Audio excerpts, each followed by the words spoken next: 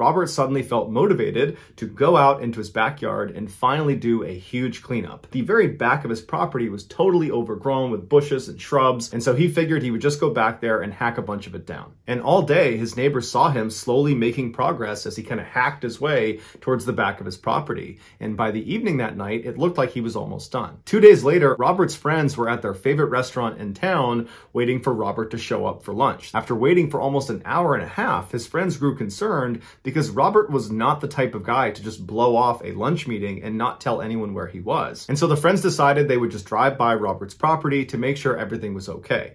But when they pulled onto a street, they saw down the end of the road in front of Robert's house were fire trucks and police cars and tons of commotion. It would turn out nobody had seen or heard from Robert since two days earlier. And so finally, Robert's own family had called the police to do a welfare check on Robert. And what they discovered was horrifying.